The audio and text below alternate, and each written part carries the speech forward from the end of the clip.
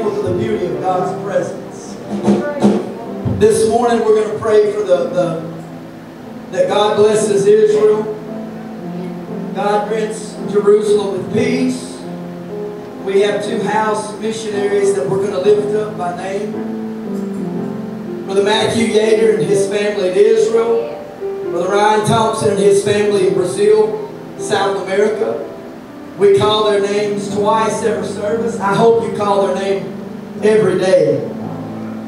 If it was you on the mission field, you would definitely want someone back home calling on calling your name. Interceding for you.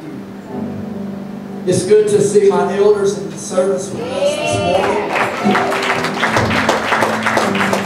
For whatever reason, Brother Sam Lowe and Sister Paula Sue is not here right now, and we're going to lift up their name I wonder if someone else has a need in the house.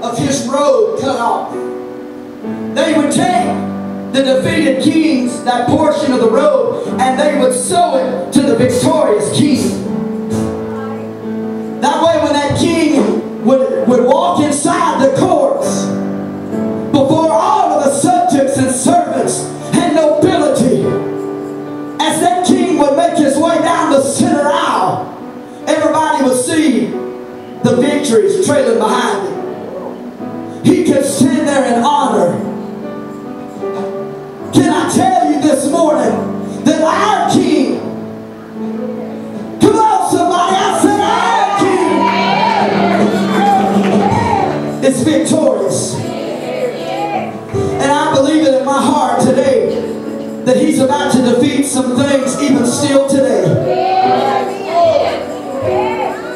I saw the Lord.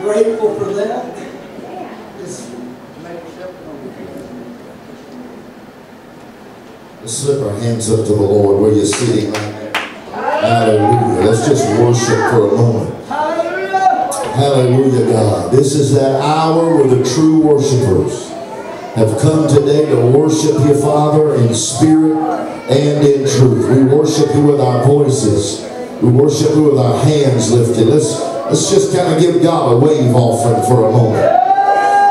Hallelujah. Let's just kind of wave at God today as if to say, Lord, I'm just scooping up all my praise and sending it heavenward. I'm just sending it back up unto you today. Hallelujah. What a beautiful presence of the Lord that's here today. Are you like me? You can be seated for a moment. Are you like me? You don't understand how some people are even functioning without God. Because, I mean, they have funerals, we have funerals. They have problems, we have problems. They have uh, doctor visits. We have doctor visits. But we got somebody who goes with us every time we go to that He'll go with you. I've watched God bring people all the way through cancer and then back. And, and it, it just, you feel sorry for people that are trying to make it without God. Uh, because there's something that, that some of these uh, elder saints can tell us. Uh, these people that have been around the block a couple times. Uh, they know something you can get some wisdom from them. And this is what it is. The wisdom is you don't wait until you got trouble to start praying. This is what they taught me young, that you don't wait. Anybody knows to pray, all of a sudden your airplane's nose diving. Only a dummy's cussing at that moment. You, you undoing everything you said done. Father, forgive me. Lord, help us straighten this thing. Atheists are praying whenever there's a little turbulence. You understand? All you had to do was be alive during 9-11 and, and look at all the people that suddenly dropped their six pack and started running for the church. Uh, so, so, so what, what these elders can teach you is you don't wait until all hell is breaking loose against you. And the devil has opened the gates of hell wide open. And then you want to jump and pray. We pray ahead of time. We, we pray in front of problems. The, the difference in some folks is when something happens, they react to that and, and nothing wrong with it because but but they should have been in church to begin with. If you're living for God, He can let you sidestep some things. There, there, there's a feast in the Bible. It's called the Feast of Passover. You ever heard of that? It's when the lamb is slain coming out of Egypt. That's what Jesus eventually fulfilled. Uh, uh, that Passover lamb was meant for when they put the blood of that lamb over the doorpost of the house. When that death angel come creeping through there to see who was going to mess up, if he saw the blood that was pre-posted there, he would pass over that. He coming there and say, I'm fixing to get this house. Look, they done something last night that prevents me from working two nights. Do you hear what I'm telling you? God is so good, He can give you a touch today that'll help you fight what you're about to face tomorrow. Just serving God and praising God about what all He's done. We say, God, I'm praising you because I'm assured that you got next week in your hand in the next month. And I, I just want to tell you, I'm, I, am i am not, I'm not afraid. I'm not upset. I'm not worried. I'm not anxious. Uh, times look bad. Things are, things put, look pretty bleak. I understand that. But God called us to be here for such a time as this. I, I, don't know if just anybody could deal with the spiritual warfare of 2024, but God handpicked you and me to be here for such a time as this. That will make you say, hey, I I must be on God's VIP list here. He didn't trust Peter with this. He didn't give this to James or John. He said, but in the last days, when things starts waxing worse and worse, I'm going to put my A-team out. I'm going to pull out some people that know how to take a licking and keep on ticking. Is there anybody here that says, I've kind of been through enough already to know if he can get me through that, he's sure going to get me through that. Some of you done been through too much to start doubting God now. For all he's done for you, after the way he done and set you up and got you free, you need to tell the devil, he can bless me once, he can bless me again. If God can do this one time, he can do it another time. That, that, that's one of the enemy's favorite tricks is to say, well, God's done all he can do. I, I learned this from, from needing vehicles because when you do what I do, you can wear a vehicle out fast.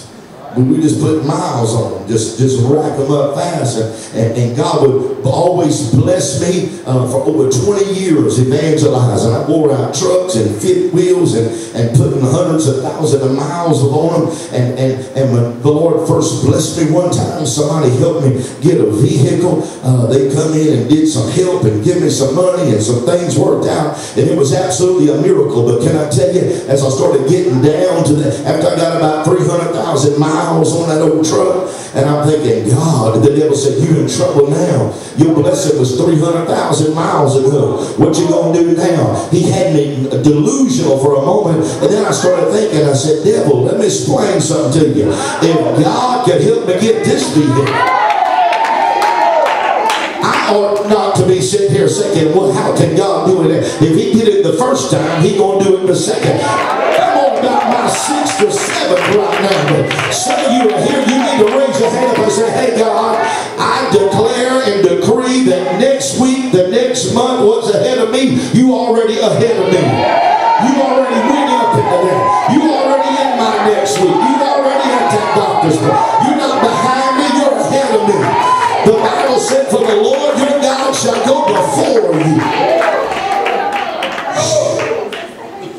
your neighbor and say, You got to get it before you need it. I'm going to read something to y'all. I, I, love you, Pastor Riddle. I love you. I love your spirit. I appreciate your hospitality, being kind to invite me. Let, let, let me read two things to you here. I, I pretty much going to preach what I got to say, but I'm going to give you two scriptures so you can go home with them. I'm going to be quick and to the point so we can come back tonight and have a move of God. So I'm, I'm going to be very quickly. Psalms 34 and 20, uh, it simply says, He keepeth all his bones, not one of them is broken. Psalms 34 20. This is, this is being prophesied.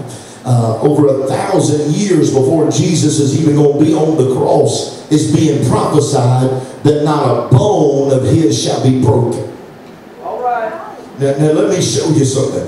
This is how promises work. This is how prophecies work, okay? It works like this. God will give you a word way back here that sometimes don't seem to make a lick of sense.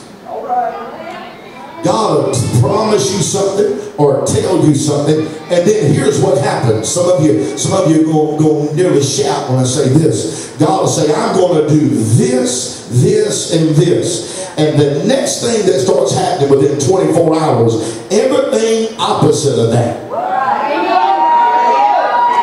Am I telling you the truth here? But we speaking the same language in Mississippi. Am I the only one that God said, I'm fixing to bless you? I'm going to open up the windows of heaven and pour out a blessing on you that Ajax can't walk on. You think, my God, and you wake up the next morning you got a flat. Yep. See? And, and, and then you, you wake up in the middle of the night and the air conditioner goes out.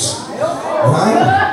And then all of a sudden there's food fuel pump, and then and, and, and, then whatever the baptistry overruns, and then everything just and you're like, my God, why did the Lord tell me that if all this was going to happen? Because He knew all that was going to happen. So way before all that mess, he's He started telling you, here's where you're going to wind up, here's where you're going to be, this is what I'm going tell you about the middle, just survive the middle and get to the end because in the end you shall win and you will not lose. Tell, tell Black Zion Pentecostal Church that God has promised you a good ending. You got a good ending. He's Alpha and Omega. He's not the middle. He don't talk about the middle. If, if, if God told you the middle, uh, you wouldn't even come back. Be ready to give it up. He said this, anything that happens that I didn't tell you about, just know that's why I didn't tell you about it. Because had you had known, we wouldn't be at this. He says, so there's some unknown things, but I'm not going to tell you about. But I am going to tell you the things that you need so that you can prepare and fight with them. Listen to this. Last verse I'm going to give you. Listen to this verse. This is a very powerful verse. Uh, this is this is First Timothy 1 and 18. Paul's telling Timothy, he said, This I charge and commit unto thee, my son Timothy, according to the prophecies which went before on thee, that thou by them mightest fight a good warfare. In other words, you're going to take the word that the preacher preached and then when trouble starts coming, you're going to start saying, the Lord said. The word of the Lord said. The preacher preached and said, I was promised over, I was prophesied over, I was preached over, I was declared over. No, I know that's what the doctor has said, but this is what the preacher preached the other night. You got to come to, to terms whose report you going to believe. Now, now, I don't know if y'all feel like I feel over here, but, but, but, but I have done come to the point that it's hilarious. It's nothing but a joke. It's nothing about like a circus watching the news anymore. They couldn't tell you the truth standing on a stack of King James Bibles with their hand up in the air looking at Jesus. They couldn't take, they couldn't get it right to save their life. And, and if you want to mess yourself up, you sit around and listen to people that every time you got a solution, they got another problem. And here's another problem. Here's a problem with him, problem with that, problem with I'm, I'm turning off the problem looking people. I'm not looking for the I think there's a problem over here. I think we got a problem over here. Listen to me, devil. You can surveil me all you want.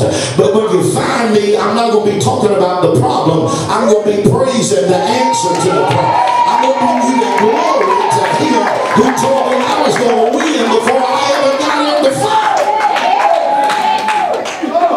I, I was preaching down in, in, in Florida and uh, uh, in that service, there was a, a, girl who came. She's a Messianic Jew, which means she's a Christian believer. She's a Jewish believer. Holy Ghost filled, been baptized in Jesus' name, but she was backslid away from the Lord, and she drove a couple hours to be in that meeting. I was preaching, and uh, I, I called her out and prayed for her. I don't even know what I told her. I just know what she told me afterward. Uh, she the next night uh, she told her mother, she said, I went to a church the other night, and she said, the power of God hit me so strong. She said, I fell out speaking in tongues, and the preacher prophesied some things over me. And she told her mama, she said, I want you to come with me tonight. I, I, I, wanna, I want you to help me see if this preacher's real. You, tell me, is this a Jedi mind trick? or is this real? So, so she, she brings her mother to the service the next night and, and she tells her mama when they get outside, she says, now I'm going to sit over here where I sat last night.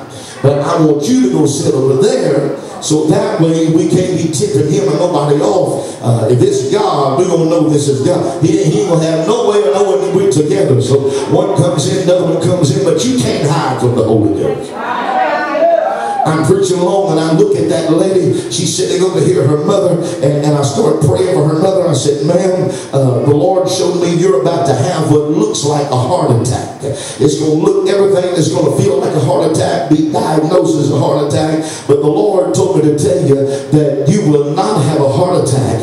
That the enemy is going to try to bring a spirit of a heart attack, but don't accept it, don't agree with it. You shall live and you shall not die about uh, about two weeks or so after that service, the young lady, her, her daughter, uh, con started contacting me on messenger and my phone's blowing up and she leaves me a message and she says, my mother was on a carnival cruise with us uh, today and said she had a massive heart attack. This is just about two and a half weeks after the Lord said, you're not going to have a heart attack, but it'll look like a heart attack.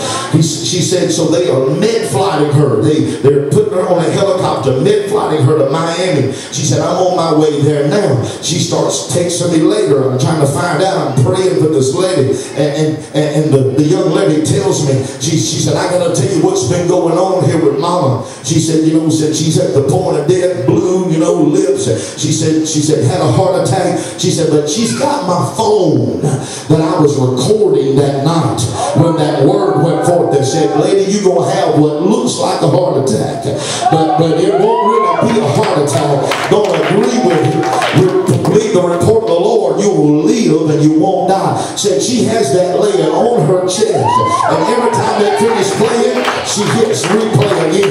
And every time it stops, she said, hit it again. She said, as a matter of fact, the doctor has come in here to try to talk to her and said, all my mama do is hold the phone up and say, listen to this doctor, I ain't had no heart attack.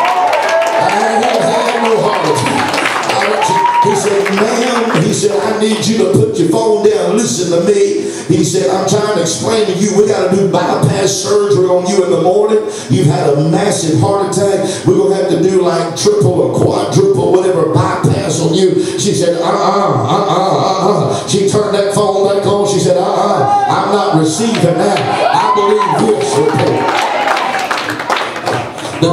Aggravated and left, went out. And this lady told me, she said, my mama done made them all man. She won't cooperate. She won't listen to nothing they said. She's calling them a bunch of liars.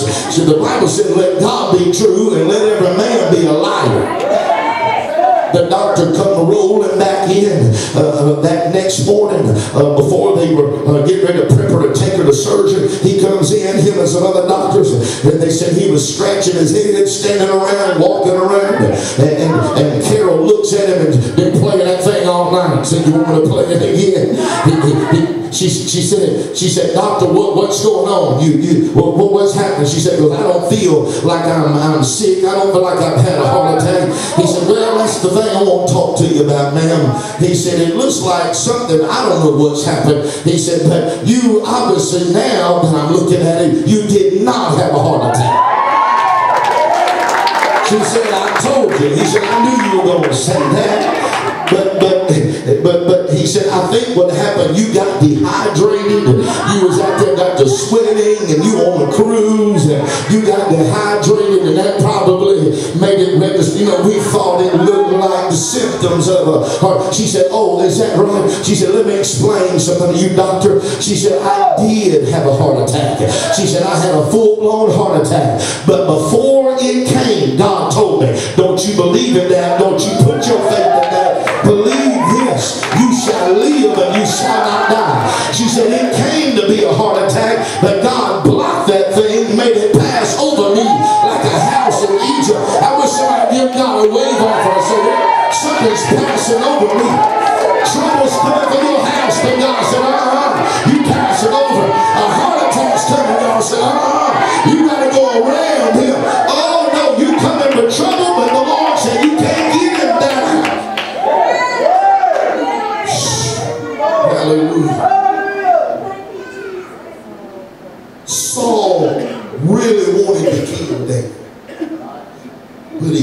The job done. How, tell? Can David be standing in a room, Saul pick up a spear, throw it just from here to there, and miss? First of all, do a little Bible research, you'll find that Saul was a Benjamite. And the Bible talks about a group of Benjamite men who were left-handed, who were the greatest spearsmen and bowsmen that you've ever seen. They able to part your hair at just a, uh, several meters away. They are able to literally, the Bible says, hit a hairbreadth. Saul was too sharp to miss. He didn't miss.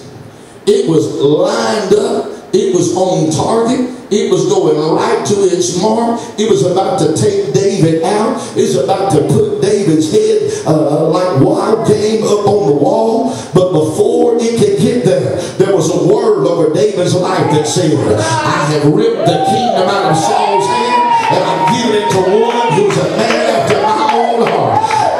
David had a prophecy over his life that said, you will be king of Israel. I know you're a shepherd boy. I know you're out here and you, you, you're, you're, you're about to be hit. You right in the side. But whenever that spear was coming across the room to kill David, the word of the Lord, that prophecy got up and knocked that spear down and said, not today, devil. You're not taking it. This boy's got a destiny. He's got a prophecy. You know why some of you are not dead yet? Because you got a prophecy over your life. And God said, you cannot die until you get to this place that I, you want to stand up and say, Lord, I understand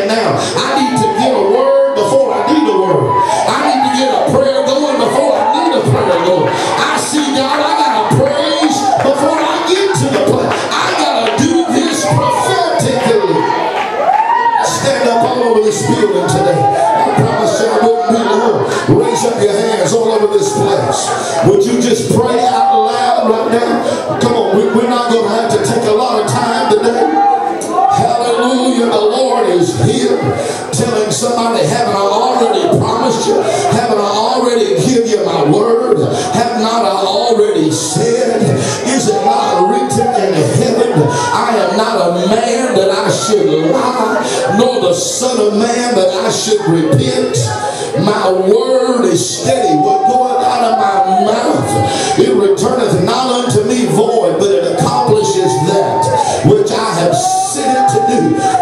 got a sent word coming to you today. Someone has a sent word to you today. Can I challenge you for just a moment? But because I told you I the time, would you raise up both your hands to the Lord right here? And would you just come walk down towards the front as we were earlier and just come with your hands up.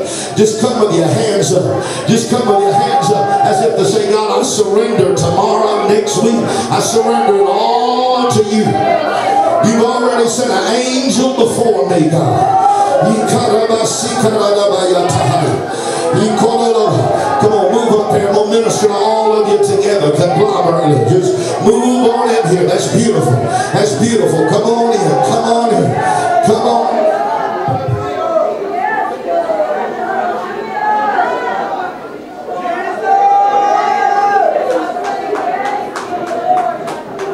She cut out of my Right there where you're standing right now. Hallelujah. Let God remind you that He's never left you. He's never forsaken you. Right there where you're standing right now, remind God that you remember all the times He done it before. You brought me back. You loved me back. You healed me. You restored. Lord, I'm looking back at all you've already done. If you repeat in my future what you've done in my past, I ain't got nothing to worry about because you've always made. You've always made some kind of way to escape. You've always got me through it. Somehow, when I should have been dead, the Holy Ghost come in and raised up a standard against the flood tides of the enemy. Oh God, if you could do it in my past, you're going to do it in my tomorrow. If you can do it then, you can do it now, Lord. Hallelujah, hallelujah, hallelujah. Let your presence God. Let your presence go before us. Go before us, Jehovah. Go before us, Emmanuel. Listen, we we are asking God right now to go ahead of every person in this building that has an appointment coming up in your future. Whether that's a doctor's appointment, whether that's some type of a banking appointment, whether that's some type of a legal thing or a court case or whatever it is, I just feel the Holy Ghost stopping me in my tracks right now to begin to make a declaration that God is going ahead of the judge. God's going ahead of the judges. God is going ahead of the court. hearts. He's going ahead decision as we're praising Him right in here. I, I feel in my spirit to tell somebody you should really connect yourself with God in this because as you're connecting to Him right now, He's depositing an angel in about two or three weeks when you got a thing coming up. You're going to find out God's already picked Oh, you should praise him for that. Lord, I'm going to find out you already went ahead of me. You already got ahead of that. Lord, my God, when did you go? I went on Sunday while you were praising me. I went down there and talked to the lawyer while you were praising me. I went down there and changed the medical report. I changed the diagnosis. I just switched it. When did you do it? You were busy worshiping me and I was busy working for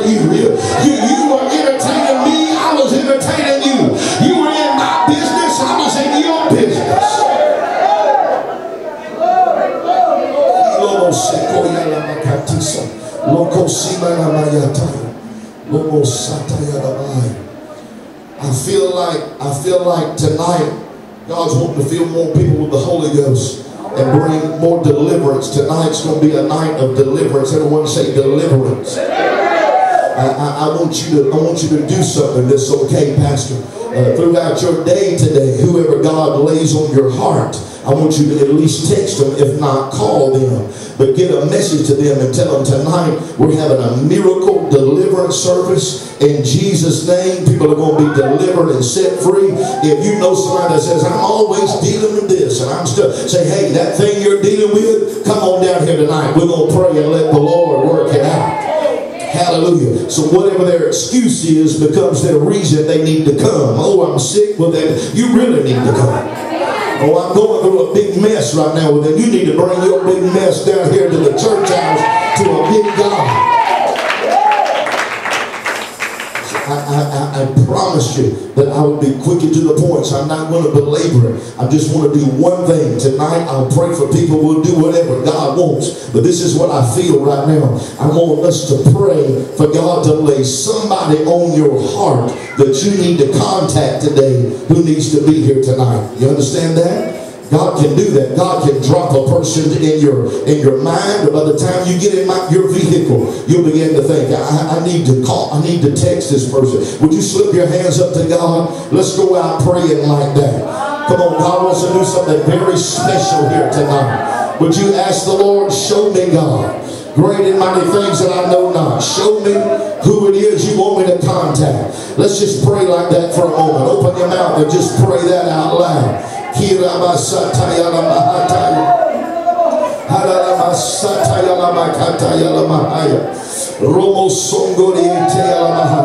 Every demonic spirit that will try to prevent people from being in this house tonight every stronghold that will try to resist a person from being in the house of the Lord tonight. We pray that your angels would go before us right now, ministering spirits to the heirs of salvation.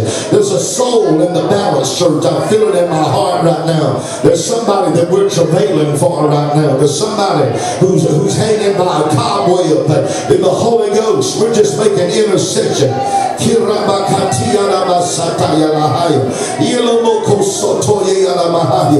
Hallelujah. If God is speaking somebody's name to you, if God has shown your face to you of somebody to contact, then, then reach over, lay your hand on somebody next to you and pray that He does the same thing for them. Really.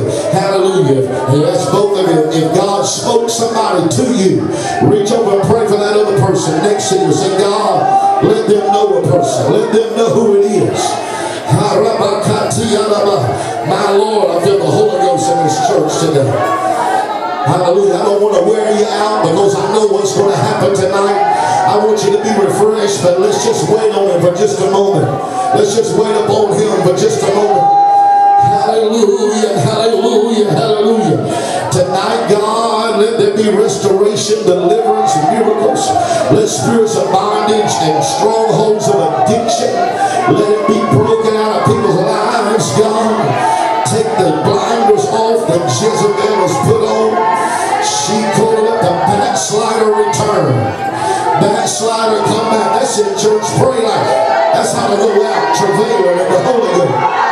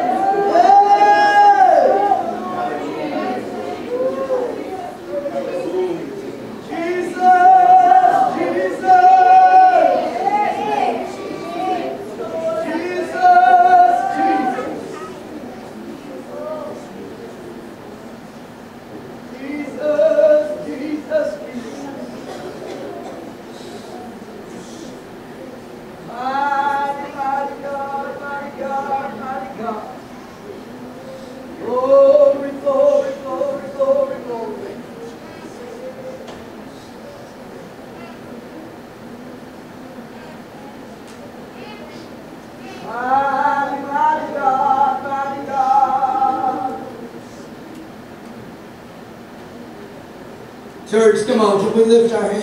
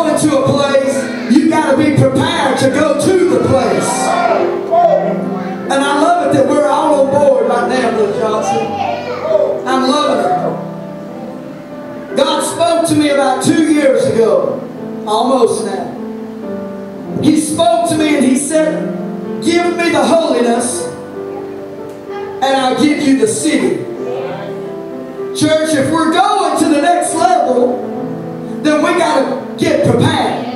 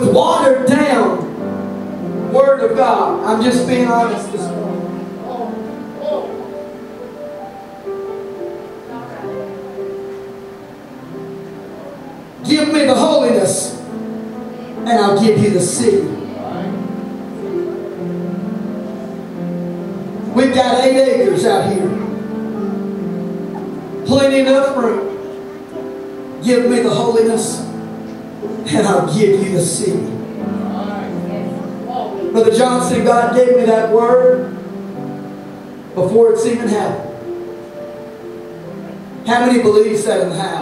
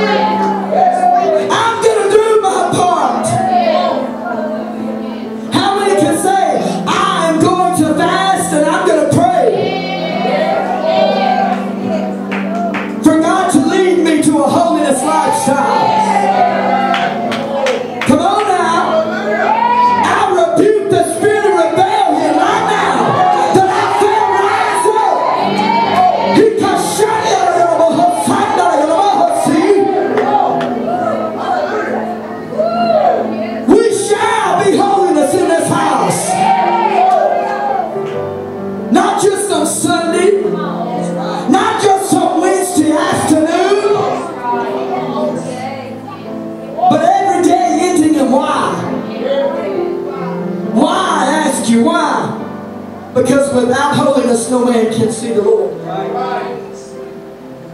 You can't just go anywhere and hear that. Watered down versions of God and the Word will not tell you that. They'll tell you anything goes. Can I tell you with Ahab, anything went with him? Anything went with him.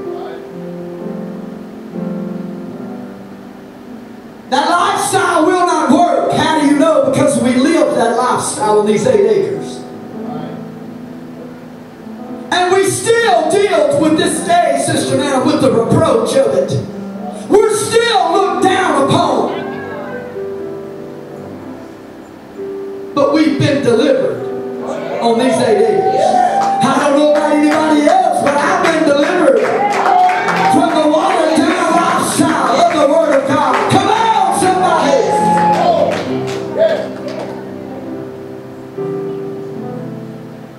so thankful for the presence of God in this house this morning.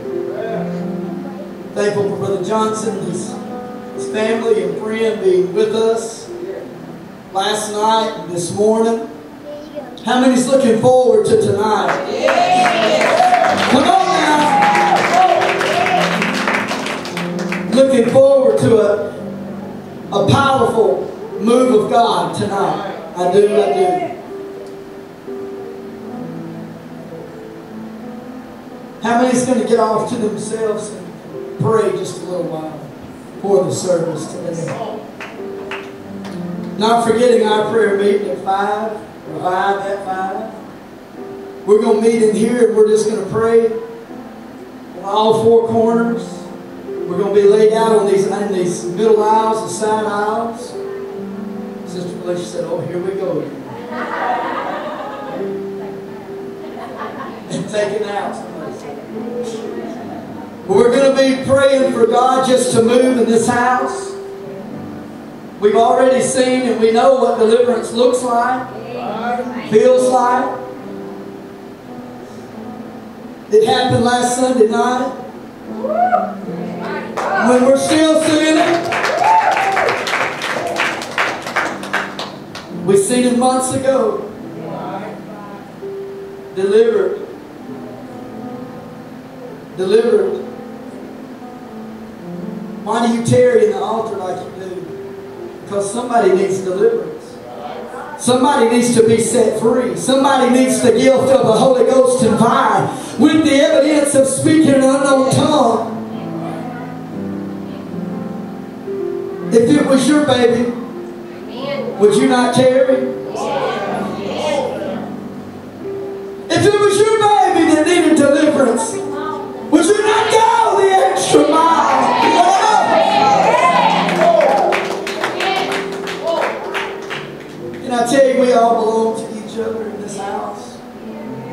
We're all in this together.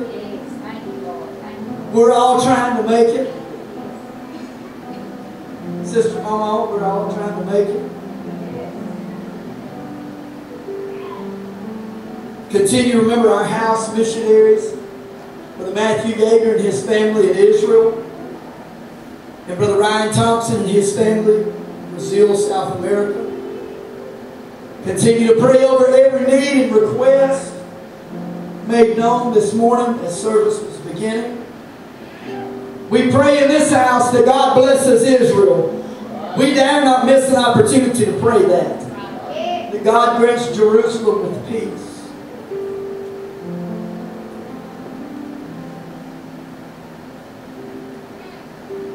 No one else this morning.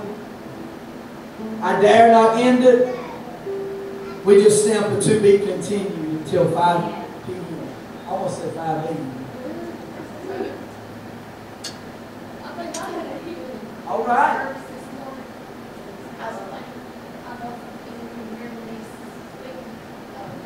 Holy heaven, carpal tunnel in my hands.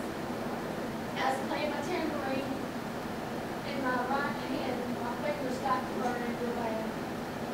I said, me. I put you under my feet. All right. Amen. I said, I rebuke you in the name of Jesus. I said, I'm healed by Jesus' name. Yeah. And I felt I had all that pain and stinging just threw away. All right.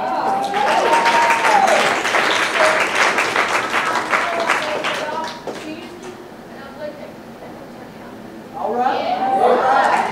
Through praise, Sister Tina, through praise. Through praise. No one else?